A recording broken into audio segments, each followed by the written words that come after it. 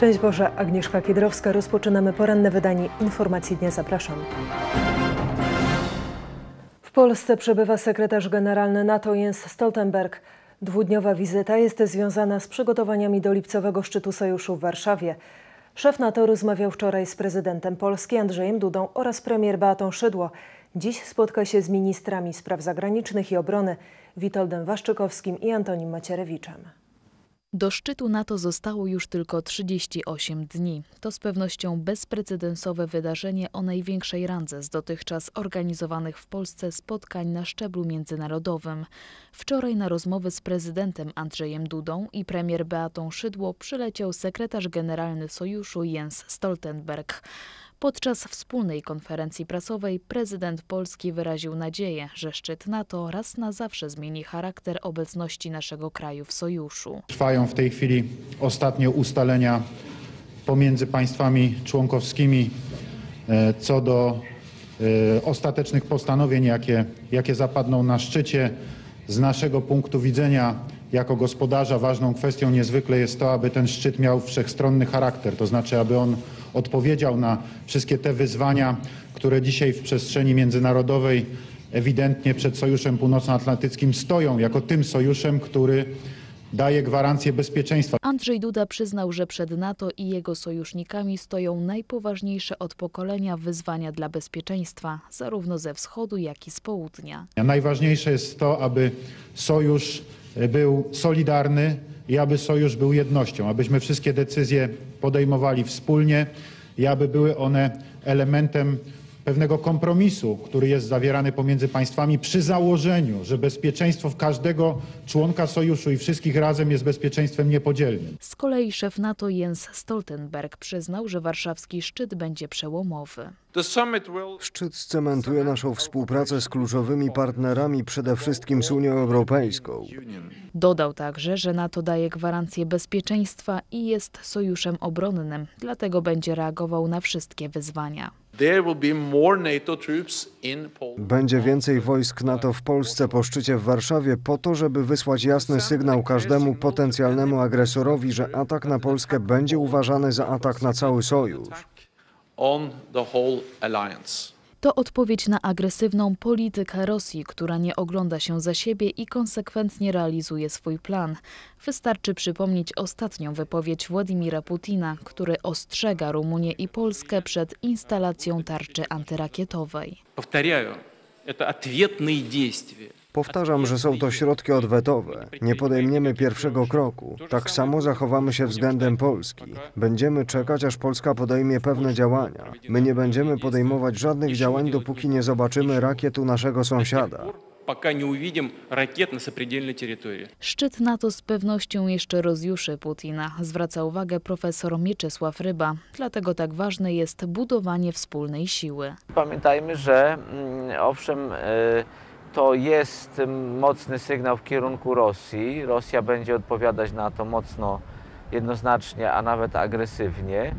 I że ostatecznie w żadnym momencie nie należy zaniedbywać własnej siły, budowania własnej siły. Wizyta sekretarza generalnego NATO w Warszawie jest dwudniowa. Dziś Stoltenberg spotka się m.in. z premier Beatą Szydło i szefami Ministerstwa Obrony Narodowej Antonim Macierewiczem oraz Ministerstwa Spraw Zagranicznych Witoldem Waszczykowskim.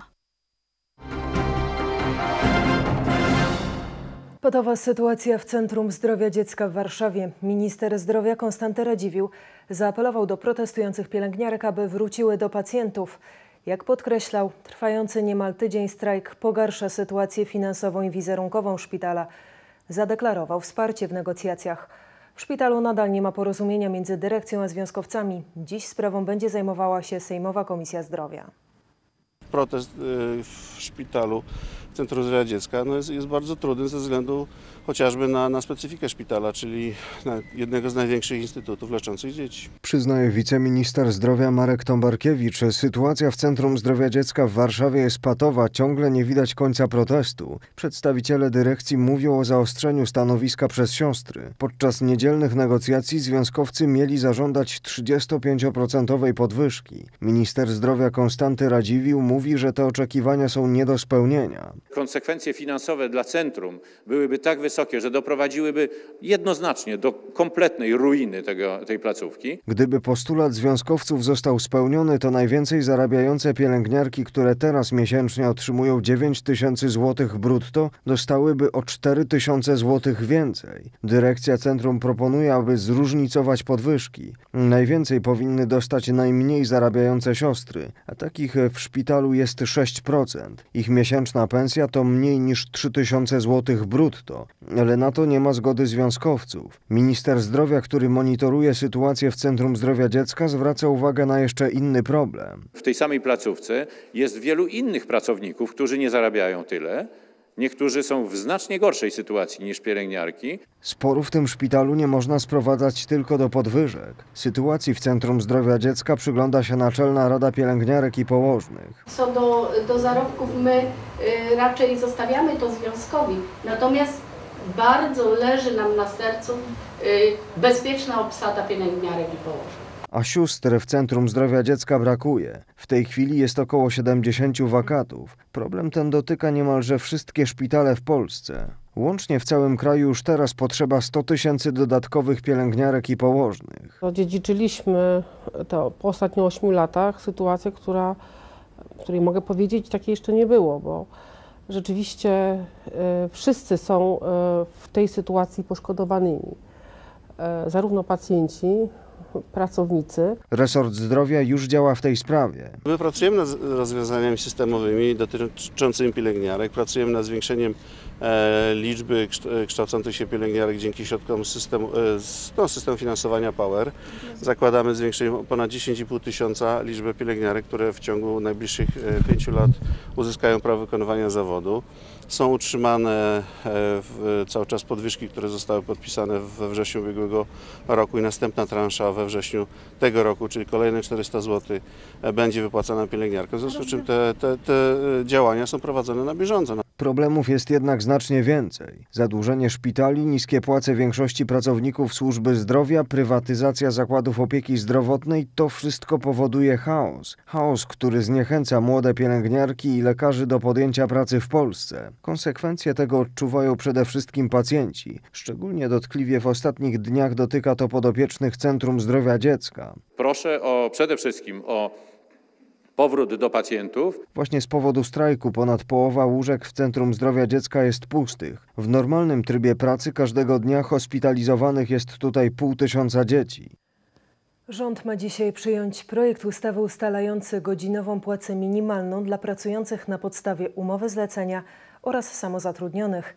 Jej wysokość to 12 zł brutto. Rząd chce, aby od przyszłego roku obowiązywała minimalna stawka godzinowa w wysokości 12 zł brutto. Chodzi o pracujących na podstawie umowy zlecenia oraz samozatrudnionych. Obecnie pensja minimalna dotyczy tylko osób zatrudnionych na etat. Projekt nowelizacji przeszedł już fazę konsultacji społecznych. Za tym rozwiązaniem opowiadają się m.in. związki zawodowe, a pomysł pojawił się podczas ostatnich dwóch kampanii wyborczych. Modyfikacje projektu ustawy proponują już kluby opozycyjne. Nowoczesna Ryszarda Petru chce zróżnicowania wysokości stawki godzinowej w zależności od miejsca zamieszkania. Ta propozycja budzi jednak wątpliwości konstytucyjne. Obecnie płaca minimalna wynosi 1850 zł brutto miesięcznie. Specjalna podkomisja powołana w Sejmie zajmie się projektem tzw. dużej ustawy medialnej. Pierwsze prace zapowiedziane są na jutro. Przewodniczącą podkomisji, w skład której weszło 11 posłów, została wybrana poseł Elżbieta Kruk. Jej zastępcami będą Iwona Śledzińska-Katarasińska z Platformy Obywatelskiej oraz Piotr Liroy-Marzec z klubu Kukiz 15. Nowo powołany organ zajmie się pakietem trzech ustaw wchodzących w skład tzw. dużej ustawy. Są to ustawy o mediach narodowych, o składce audiowizualnej oraz przepisy wprowadzające. Myślę, że dużo pracy przed nami i trudno mi jest określić, kiedy ją, tę pracę skończymy. Opozycja ma jak zwykle dużo zastrzeżeń raczej politycznych, ale prowadzone były quasi y, konsultacje społeczne i wiele różnych środowisk zgłosiło bardzo dużo uwag do tych ustaw, nad którymi musimy się pochylić. Pakiet projektów PiSu zakłada m.in. przekształcenie od 1 lipca TVP, Polskiego Radia i Polskiej Agencji Prasowej w instytucje mediów narodowych. Oprócz tego ustawa przewiduje wprowadzenie obowiązkowej składki audiowizualnej, która będzie pobierana z rachunkiem za prąd. Bo to jest w zasadzie ta sama opłata, tylko inaczej zbierana. E, No i zorganizowanie, czyli odejście od y, mm, formuły spółki prawa handlowego. Również nazwa się zmienia, nie bez powodu, z mediów publicznych na media narodowe. Symbole są ważne i to, ta nazwa pokazuje, jaki cel przede wszystkim chcemy osiągnąć zwrócić media publiczne Polakom. Zmiany mają dotyczyć wyboru władz mediów publicznych i długości ich kadencji.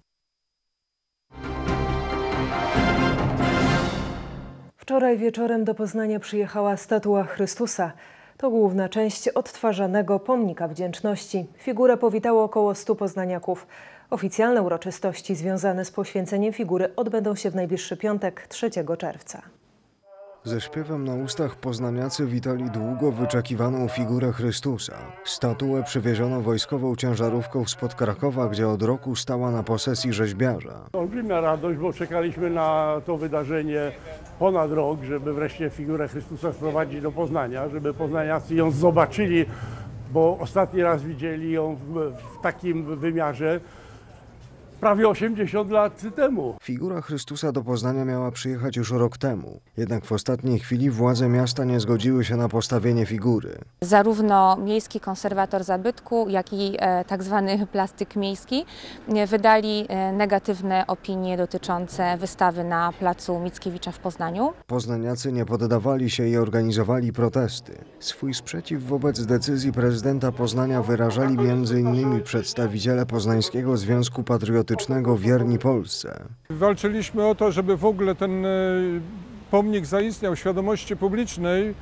w Poznaniu przez kilka lat, ale przez ostatni czas, w zeszłym roku miała, już była gotowa figura Chrystusa i nie pozwolono jej przywieźć do Poznania. W tym roku zdecydowaliśmy, że przywozimy figurę do Poznania.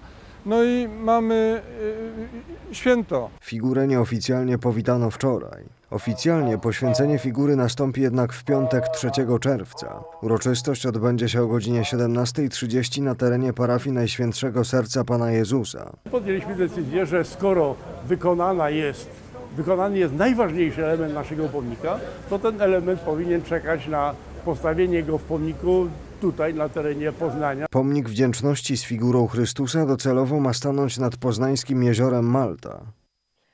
A kolejne wiadomości przekażemy Państwu za niespełna dwie godziny. O 10 zapraszam do zobaczenia.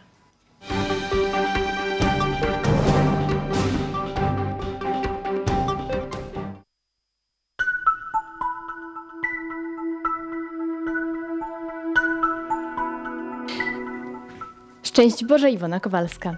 Zapraszam na prognozę pogody. Nad północną i południową Europą pole podwyższonego ciśnienia. Na pozostałym obszarze niże z frontami atmosferycznymi. Warunki pogody nad Polską kształtować będzie wspomniany niż. Dziś pogodnie nad Skandynawią, północną Rosją, a także na południu. Przelotny deszcz i burze w centralnej i wschodniej Europie. Najniższa temperatura w Londynie około 14 stopni, a najcieplej w Bukareszcie około 32 stopni. I zmieniamy mapę. Na przeważającym obszarze zachmurzenie umiarkowane i duże z przelotnymi opadami deszczu. Możliwe również intensywne burze. W Krakowie i Rzeszowie przejaśnienia. Od 22 stopni na Lubelszczyźnie do 28 stopni na Kujawach. Powieje słaby i umiarkowany wiatr ze wschodu podczas burz silny i porywiste. Ciśnienie będzie rosnąć i wyniesie około 1010 hektopaskali. A teraz prognoza pogody dla poszczególnych regionów. Zapraszam.